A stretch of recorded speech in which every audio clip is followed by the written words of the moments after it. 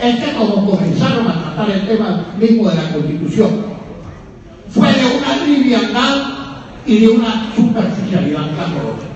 Fíjense, por ejemplo, diputado Marín, el tema de las faltas absolutas del presidente, el actual artículo, artículo 233, lo trataron de la siguiente manera. Imagínense usted un debate de esa trascendencia, ¿cómo lo trataron? El artículo 260 del proyecto, que equivale al actual 233, decía textualmente cuando lo leyeron en la constituyente. Serán faltas absolutas del presidente de la República, dos puntos, la muerte, coma, su renuncia, coma, la destitución decretada por sentencia del Tribunal Supremo de Justicia, coma, la incapacidad físico-mental permanente certificada por una junta médica designada por el Tribunal Supremo de Justicia con aprobación de la Asamblea Nacional, coma, el abandono del cargo, coma, declarado este por la Asamblea Nacional, coma, así como la revocatoria de su mandato. Pidió la palabra el diputado William Lara. Y al diputado William Lara preguntó, presidente, a Luis Miquilena, solo para sugerir que se califique la decisión de la Asamblea Nacional me parece pertinente que aparezca aquí con qué porcentaje de votos de los integrantes de la Asamblea se toma esta decisión. O sea, el abandono del cargo. Y entonces Miquilena le contestó, ahí se dice por mayoría simple. Si usted quiere hacer una proposición distinta, de todas maneras que se ponga por mayoría simple. O la corrección se va a aprobar, aprobada. Y despachamos el tema. Y me voy a la segunda discusión, no fuera que la segunda discusión, los segundos constituyentes hubieran tratado de profundizar y me consigo esto es irresponsable de la constituyente, esto salga en la segunda discusión cuando discutieron el título segundo del capítulo quinto, ni siquiera hicieron referencia a un tema tan grueso como este. Ni siquiera se refirieron a.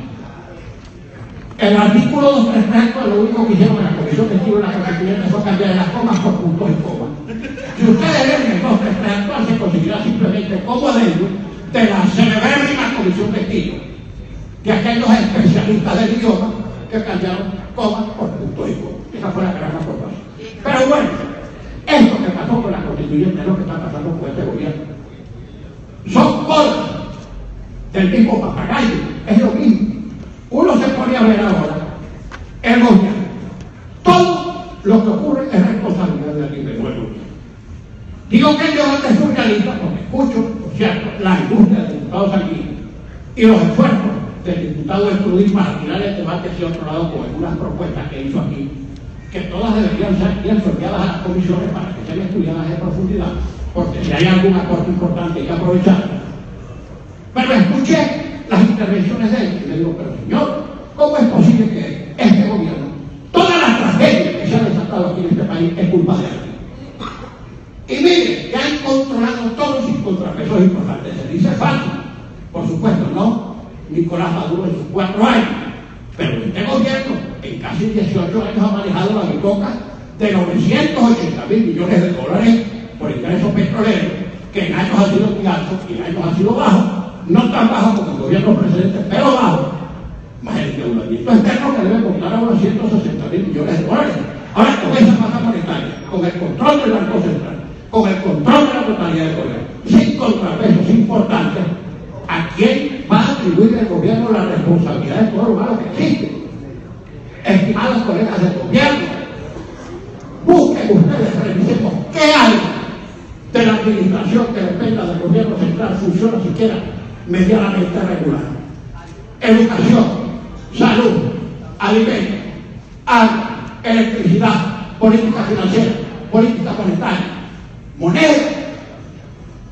Pero, pero vea, a lo mejor se trata de secretos demasiado bien guardados en la cripta de la información del gobierno. Por favor, que algunos de ustedes nos, nos revelen, nos revelen esos misterios mayores para nosotros saber a qué atener. Pero Venezuela no ve en este gobierno un aparato eficaz, siquiera para administrar regularmente, medianamente bien la cotidianidad. Hay muchas quejas, ustedes ven en cuenta. Por eso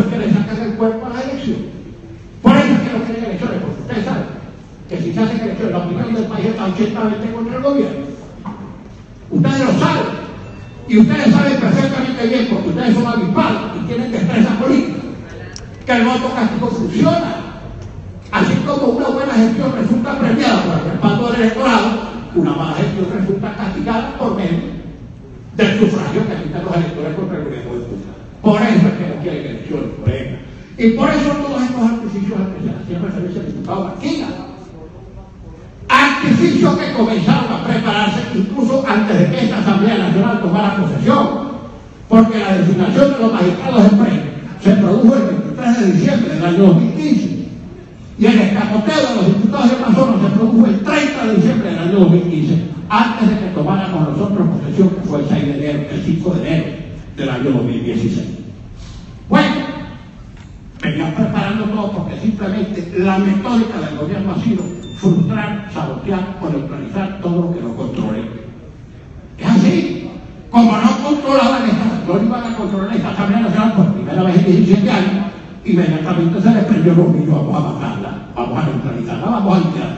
Y ahí apareció toda esa, esa especiosa argumentación de esa carta, etcétera, etcétera, respecto de lo cual los señores de la convirtieron la alcaldía mayor, neutralizaron a Ledesma y crearon el gobierno del distrito capital.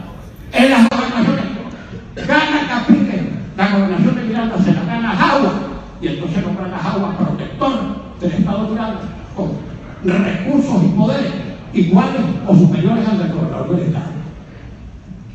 Bueno, es pasar de poco. Entonces las elecciones son válidas y respetables solo cuando uno las gana y no lo son cuando uno las pierde. Ahora, aquí se ha dicho mucho que la única solución es que nos contemos, que nos contemos y nosotros vamos a luchar azarosamente porque queremos el sol, la imaginería y la injuria oficial puede decir que hay sectores de la oposición conspirando contra los militares. Nosotros no somos tan tontos como para estar propiciando un golpe de Estado cuando tenemos perfecto conocimiento y absoluta convicción de que nadie que tenga tanques, cañones o helicópteros, por mucho que se caigan. Nadie que tenga fuerza armada va a dar un golpe para que gobierne un civil de la oposición. Olvídense. Y además nosotros sabemos que los altos bandos militares, y en este caso las Fuerzas Armadas con los crocodilos, están jugando cuadros cerrados por el gobierno porque les conviene. Pero no se les olvide una cosa. Los militares en todas partes suelen ser leales hasta la víspera. No se les olvide eso. Leales hasta la víspera. No se les olvide. Y miren que nosotros hemos sido gobierno. Toda política, estimados colegas, se juega por los resultados. Y si ustedes evalúan y los resultados son para la política, es malo. ¿Qué piensa uno al tratar de buscar la explicación a esta cosa que está ocurriendo? Bueno, que ustedes pasaron de un liderazgo muy sólido, muy firme, como el que tenía Hugo Chávez, que no lo tenía, y era además un gran comunicador, y un hombre que hizo un modelo a imagen y semejante. Yo no tengo complejo, hermano. Yo no tengo complejo, yo lo que soy es lúcido. Y pasa de ese liderazgo tan fuerte, tan sólido, que nos controlaban todos ustedes, porque a ratos era el gran psiquiatra de esa loquetera que es el. Y pasa a un liderazgo, y pasa a un liderazgo que tiene una doble complicación. Primera complicación, que le da una situación muy difícil, que se la dejó el papá, que se la dejó el papá, y él que es de y que es real, tiene que seguir diciendo que recibió una maravilla. Y segundo, en razón de esa circunstancia no puede de nada ni puede rectificar nada, porque cada vez que va a emprender una rectificación le dice que está violando los sacrosantos principios de la revolución y que está traicionando la memoria del comandante. Entonces el tipo está atrapado. Atrapado. Y mientras sigan recurriendo y perseverando en esa política equivocada, y las políticas se juzgan solo por sus resultados, seguirá incurriendo en cada vez mayores y peores errores que está pagando el pueblo venezolano como un todo. Esa es la realidad, colega. Entonces hay diputados aquí, se puede desgañitar en esa tribuna, comerse los cargos, hacer méritos a ver si Maduro le hace una y se lo lleva para allá para ministro de cualquier cosa.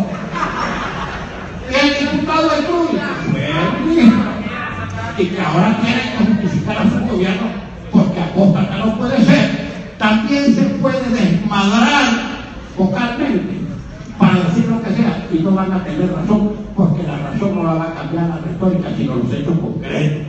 la cotidianidad de los venezolanos, los padecimientos de todos los días, es lo que están buscando ustedes. Y si así no fuera, y si así no fuera, ¿por qué no se hace una buena vez?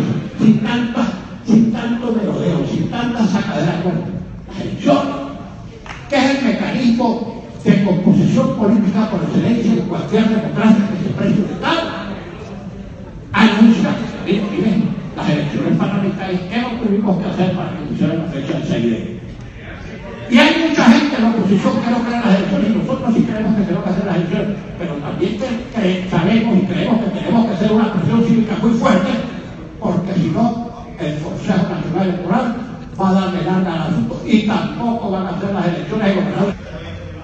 ¿Por qué no quiere rendir cuentas? Porque no tiene buenas cuentas que rendir.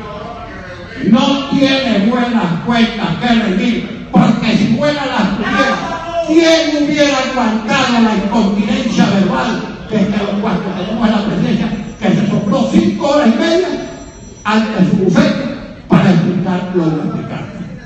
Si hubiera venido aquí, se hubiera llevado un fiasco. Un fiasco igualito Cuando voy a presentar, me ponía en cuenta que esto lo yo, porque aquí sí se va a discutir. Aquí va a deliberar. Aquí vamos a tratar los temas con toda crudeza, sin agresividad, sin ánimo de tumbar a nadie, pero con la presencia el mandato constitucional para el cual nos ayuda el pueblo venezolano. ¿Entiendes que eso?